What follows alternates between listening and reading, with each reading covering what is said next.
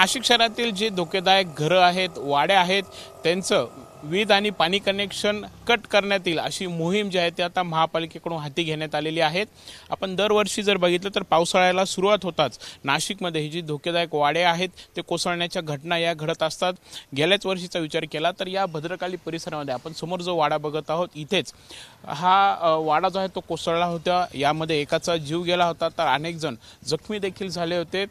विशेष म्हणजे आपण जर बघितलं तर अत्यंत आडगळीच्या ठिकाणी खरं तर हे असे वाडे आहेत. त्यामुळे प्रशासनाला मदत कार्य करायला देखील यामध्ये अनेक अडचणी ज्या आहेत त्या होत असतात.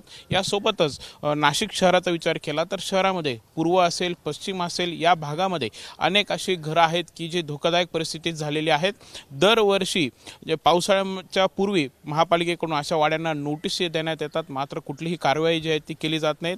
गेल्या वर्षी देखील अशा प्रकारचे धोकेदायक घरं आहेत ज्यांचे जे नागरिक आहेत जे तिथे वास्तव्य करतायत जे ऐकत नाही आहेत त्यांचं वीज कनेक्शन तोडलं जाईल पाणी कनेक्शन तोडलं जाईल असं महापालिकेकडून सांगण्यात आलं होतं. मात्र ही मोहीम जी आहे ती फक्त कागदापुरतीच मर्यादित ही राहिली होती.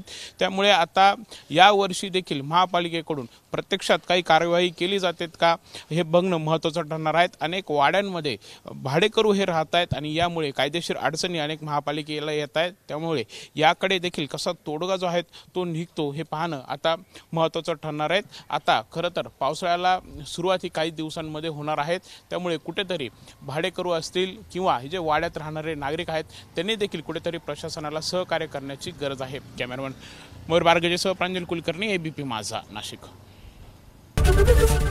एबीपी माझा. उघडा डोळे बघा नीट.